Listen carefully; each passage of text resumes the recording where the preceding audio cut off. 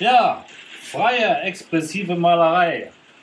Ich habe euch mal was mitgebracht hier. Und zwar tue ich bei der Ölmalerei, das geht genauso mit Acryl, wisst ihr ja, äh, tue ich gerne auf, auf so einer Leinwand und mischen.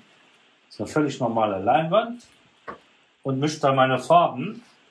Und äh, dann, wenn der Punkt gekommen ist, dass ich die nächste Palette nehme, dann geht es hier los mit freier Malerei. Was dann, das ist ein Ölstick. Das ist übrigens ganz interessant.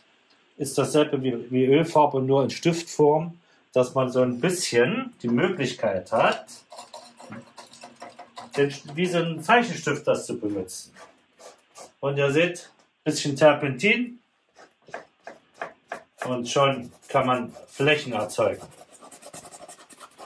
Und die Farben, natürlich ist klar, Terpentin löst, tun sich dann mischen mit denen, die da noch drunter auf der Palette sind eine wunderbare Geschichte. Man kann wirklich jetzt frei arbeiten. Hier habe ich noch ein bisschen Weiß. Da gibt es ein Spachtelmesser. Mit denen kann man auch wunderbar arbeiten. Und äh, die Idee, sich dann fallen zu lassen, was passiert, wenn die Farben sich vermischen, das ist ein Spiel.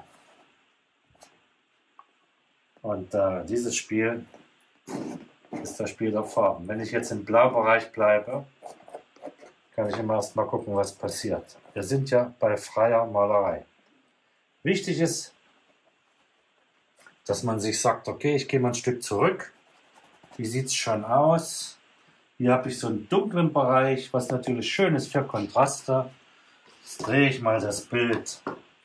Und wenn ich es so umdrehe, sehe ich dann hier schon.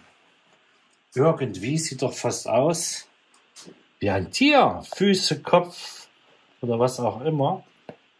Aber das passiert uns ja bei der abstrakten Malerei immer, dass wir irgendwo unser Gehirn was hineininterpretiert. Und es ist ja so. Guck mal, jetzt habe ich hier schön, schöne Fläche gemacht. Das äh, Spiel heißt beobachten, immer wieder neu entscheiden. Wieder den Stick, den Ölstick. Das ist natürlich äh, eine wunderbare Sache. Man kann natürlich jetzt auch wieder lasieren. Also das heißt, wir haben so viele Möglichkeiten. Im Malkurs werdet ihr sehen, dass es noch mehr gibt. Es werden wunderbare Bilder und ihr werdet frei arbeiten. Und das Schöne ist, ihr lernt viel über Farbe. Ich mache jetzt hier einen Test. Hier unten ist schon rot. Ich möchte noch mehr rot. Dieses Spiel der Farben. Hier mischen sie sich wieder. Das ist ja das, was Spaß macht. Man sagt ja immer, mit den Fingern essen und mit den Fingern malen. Das ist auch eine tolle Geschichte, weil machen wir uns nichts vor. Die Finger sind die, ist das Besteck und der Pinsel der Kaiser und Könige. ja, ist einfach so, die Haut ist noch ein bisschen, äh, hat gar keine Fläche. Ist, ist genau wie hier mit dem Spachtel. Aber der Maler, der kreativ ist und im Moment entscheidet und schnell, der muss halt aber schnell sein. Hm? So, und jetzt heißt es wieder gucken, wieder drehen die Entscheidung, ob das, äh, wo das Format ist, die kommt erst mit der Zeit. Und man merkt auch, wenn man Flächen übermalen muss, damit das Bild langsam stimmig wird und einen Farbklang hat. Also, all das machen wir in meinem Malkurs. Abstrakte Malerei.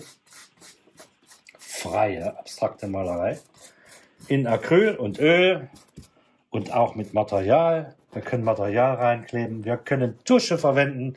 Ihr werdet sehen, das ist jetzt nur ein Beispiel für das, was euch in diesem Kurs erwartet. Also bis dann in meinem Kurs, euer König Avora.